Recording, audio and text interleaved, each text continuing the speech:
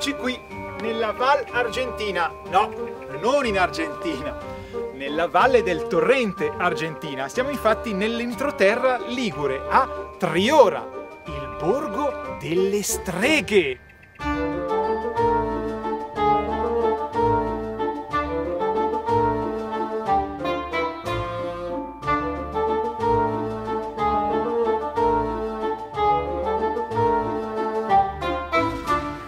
Questo borgo è famoso per essere il borgo delle streghe, perché tra il 1587 e il 1589 furono imprigionate, giustiziate e bruciate sul rogo circa una ventina di streghe, ma anche pensate dei bambini e delle ragazze.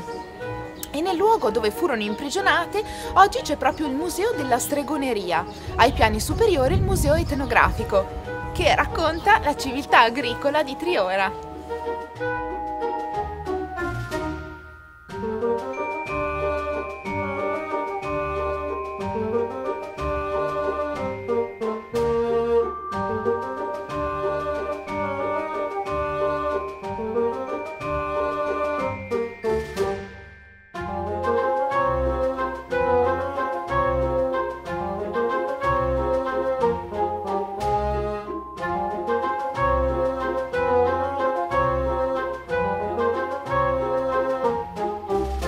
Ora di consueto qualche cenno storico. Questo borgo assunse l'aspetto più o meno attuale intorno al XII secolo, su dei precedenti insediamenti nel IX-X secolo.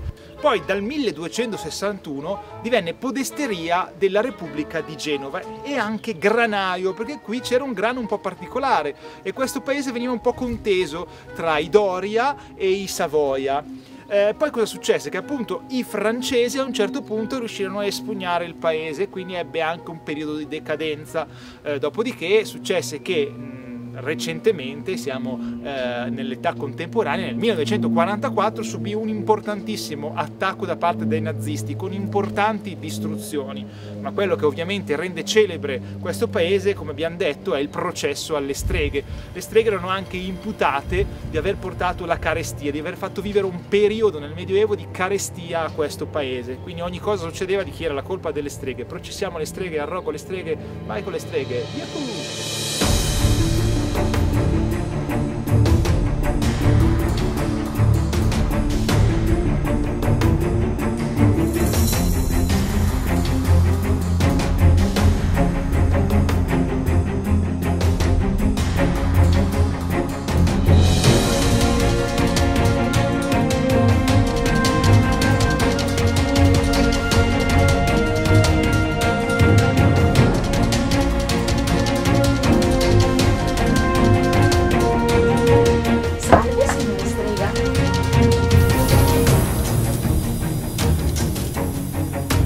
Questa zona, la Cabotina, si diceva essere il luogo abitato da queste presunte streghe. In realtà queste donne portavano enormi benefici alla comunità, proprio per la conoscenza delle erbe officinali, tra le quali la strigonella.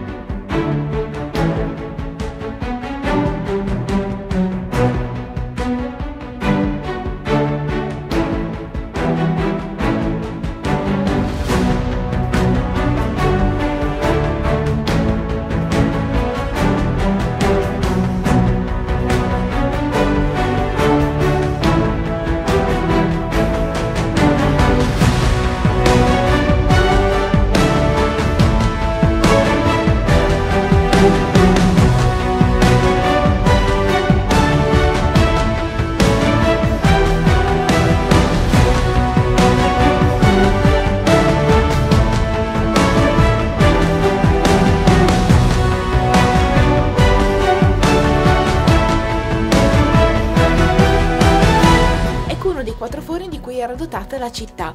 Essa è stata anche insignita del titolo di città del pane in quanto viene prodotto un pane rustico da farina molto particolare.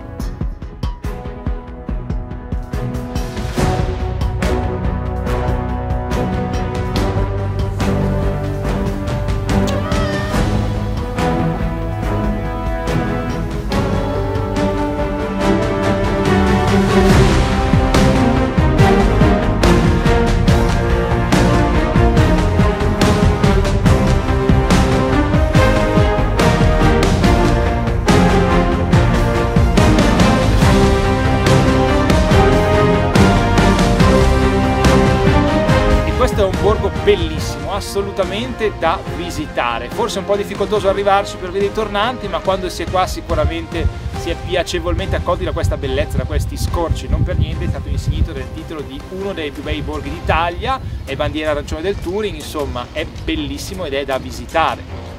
Sì, tanto che se volete anche farci un giretto in agosto c'è la rivisitazione delle streghe, bellissimo è bellissimo perché è pronti partenza via e sempre pronto a darvi dei consigli per la vostra partenza via verso nuove avventure, verso nuovi borghi, verso nuove esperienze. Ciao! Ciao! Non siamo in un luogo abbandonato, non siamo in un set di un film, ma siamo qui a Riona, dove alcune parti di questo borgo alcuni puntelli sorreggono delle architetture un po' diroccate.